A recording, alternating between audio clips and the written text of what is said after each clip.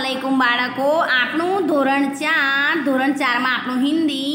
તો હિન્દીમાં આપણે અસાઇનમેન્ટ શીખી રહ્યા છીએ અસાઇનમેન્ટમાં આપણે પ્રશ્ન ચાર અ આયા છે. તો પ્રશ્ન ચાર અમાં આપણી સૂચના છે કે ગલત શબ્દો કો કાટ દીજીએ એટલે કે વાક્યો આલેલા છે. આપણને કુલ અઢારે વાક્યોની અંદર એવું છે કે આપણે વાક્ય વાંચવાનું છે ને વાક્યમાં જે શબ્દ ખોટો છે એના પર ચેકો મારવાનો છે. તો આપણે ગયા વિડીયોમાં બે વાક્ય શીખેલા છે. આપણે નંબર ત્રણ પર આવ્યા છે, જુઓ. કે માલી કિસાન બગીચે મેં કામ કરતા હે. તો કિસાન ઉપર ચેકો મારવાનો છે. ફરી બંદર પેડ કે નીચે હે. તો નીચે જે શબ્દ લખ્યો છે, નીચે એના પર ચેકો મારવાનો છે. ફરી જુઓ. અનિલ કી જેબ મેં કલમ કિતાબ હે. તો કિતાબ ઉપર ચેકો મારવાનો છે. બરાબર? ફરી જુઓ. નંબર છ. बादल आकाश में दिखाई दे रहा है।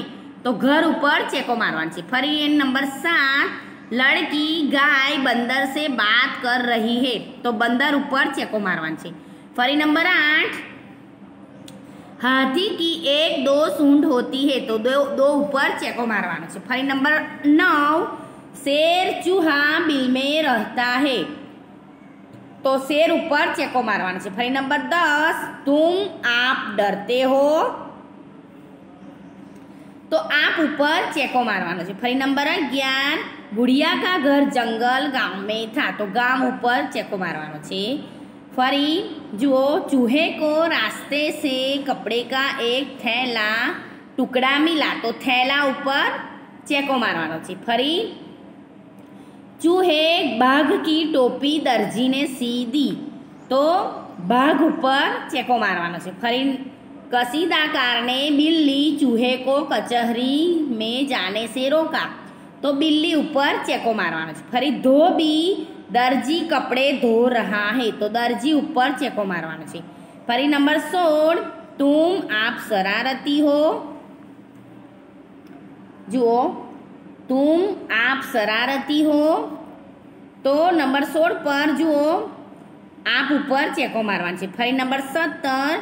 તુમ આપ ચાચાજી હો?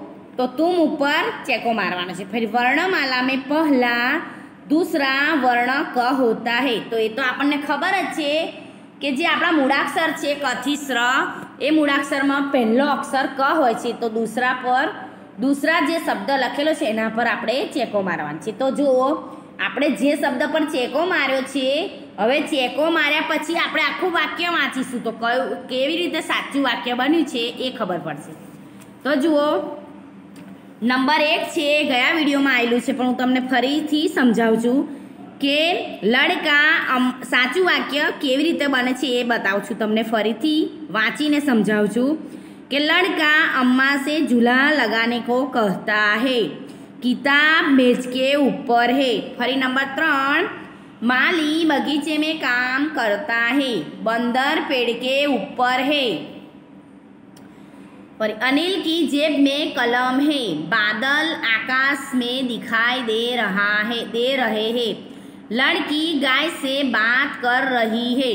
हाथी की एक सूंड होती है। बी, चूहा बिल में रहता है। आप डरते हो? जुओ सॉरी दस नंबर पर। तुम डरते हो? फरी नंबर ग्यारह बुढ़िया का घर जंगल में था। फरी, चूहे को रास्ते से कपड़े का एक टुकड़ा मिला। चूहे चूहे की टोपी दर्जी ने सी दी कसीदाकार ने चूहे को कचस, कचहरी में जाने से रोका। જુઓ પછી ધોબી કપડે ધો રહા હે. તુમ શરારતી હો. પછી, નંબર સત્તર, તુમ ચાચાજી હો. પછી નંબર અઢાર વર્ણમાલા મેં પહેલા વર્ણ ક હોતા હે. આ પ્રમાણે સાચા વાક્ય બનશે. જુઓ, તમ, આપણે વાક્ય, મેં તમને પ્રશ્નની અંદર વાક્યની અંદર જે ખોટો શબ્દ છે, એ ચેકો માર મારવાનો અને પછી સાચું વાક્ય કેવી રીતે બને છે એ વાંચીને સમજાયું, બરાબર? હવે એની નીચે છે, જુઓ. પ્રશ્ન ચાર બ, કે હિન્દી મેં અનુવાદ કીજીએ તો આપણને કુલ ચૌદ વાક્યો આલેલા છે. એનું આપણે, આપણને ગુજરાતીમાં વાક્ય આલેલા છે, એનું આપણે હિન્દીમાં અનુવાદ કરવાનું છે. તો જુઓ, આપણે વાક્ય વાંચીશું. ગાય ગાય, ઘાસ ખા રહી હે. તો એનું હિન્દી શું થશે? કે ગાય ઘાસ ખા રહી હે. જુઓ સોરી ગુજરાતી વાક્ય એવું છે કે ગાય ઘાસ ખાઈ રહી છે. તો એનું હિન્દી કેવું થશે વાક્ય? કે ગાય ઘાસ ખા રહી હે.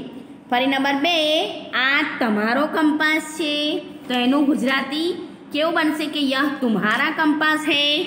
ફરી નંબર ત્રણ, આ ધોબી છે. તો એનું વાક્ય કેવું બનશે હિન્દીમાં? યહ ધોબી હે. ફરી નંબર ચાર, આ કુંભાર છે. તો યહ કુંભાર હે. ફરી નંબર પાંચ, મોર આંગણામાં છે. તો મોર આંગન મેં હે. ફરી નંબર છ, આ પતંગિયા છે. તો યહ,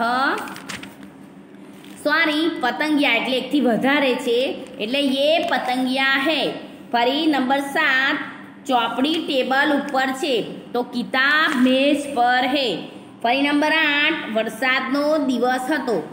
તો નંબર આઠમાં બરસાત કા દિન થા ફરી નવ ઉંદર રાસ્તા પર જઈ રહ્યો હતો તો ચૂહા રાસ્તે પર જા રહા થા ફરી નંબર દસ આ મારી ખુરશી છે યહ મેરી ખુરશી હે ફરી નંબર અગિયાર તે આશાની નોટબુક છે તો વહ આશા કી કાપી હે ફરી નંબર બાર તે અનિલની પેન છે વહ અનિલ કી પેન હે શાળાની પાસે ઝાડ છે તો પાઠશાલા કે પાસ પેડ હે. ફરી નંબર ચૌદ, પેલા બે ઝાડ છે. તો યે દો પેડ હે. આ પ્રમાણે જુઓ, આપણને કુલ ચૌદ વાક્યો આલેલા છે. એનું મેં તમને હિન્દીમાં અનુવાદ કરીને બતાવ્યું એ પ્રમાણે જુઓ આપણે આજના વિડીયોમાં પ્રશ્ન ચાર અ અને પ્રશ્ન ચાર બ મેં તમને શીખવાડ્યો. એ પ્રમાણે તમારે વિડીયોમાંથી જોઈને નોટમાં લખવાનું છે. એ આજનું આપણું લેસન છે. ફરી બીજું શીખીશું. ચલો, અસલામ